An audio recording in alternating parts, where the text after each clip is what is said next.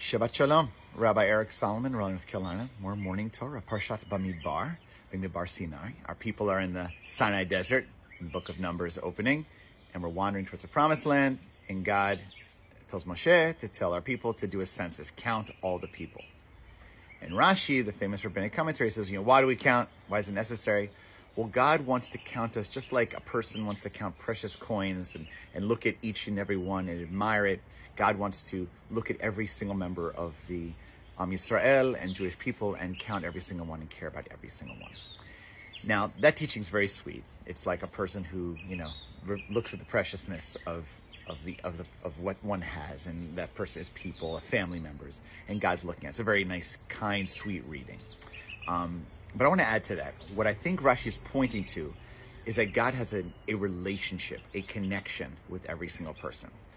Now, on the surface, that may sound cliche, but in our contemporary life, the Amazonation of everything, we're big data, we want to do studies of massive population, where that's important and that's added to our understanding of our world. I'm not putting that down. But when you look at massive data or massive businesses, um, one of the challenges is that sense of lack of connection individually. I'll just tell a quick story about that. There's a local business here. I told this a number of years ago, but I'll bring it back. Uh, where I go to, where it's a local business, and I won't mention the specific business, but just say that I, I go, it's, it's one that helps me with one of my hobbies, we'll say. And um, they know me really, really well. I know them well. I go to them regularly to get certain products taken care of for my hobby. So um, it's, it's a sport. So basically, uh, one time I went in there and the family, I went to go talk to the owner uh, just to do the regular business exchange and we talk with each other. He knows I'm a rabbi. In the end, basically, when I asked him, you know, what, you know, something, somehow in just a conversation that I was like running in and out, he, he mentioned to me something about um, the holidays. I, I, maybe I said to him, it was Christmas was coming. And he said to me, I never, I don't go to church. I said, okay, I don't Fine, no problem. I think he wanted to let me know that because he knew I was a rabbi. He said, do you know why I don't go to church? I said, no. and frankly, I didn't care that much. But then he explained to me, he said, I don't go to church ever since two of my children died.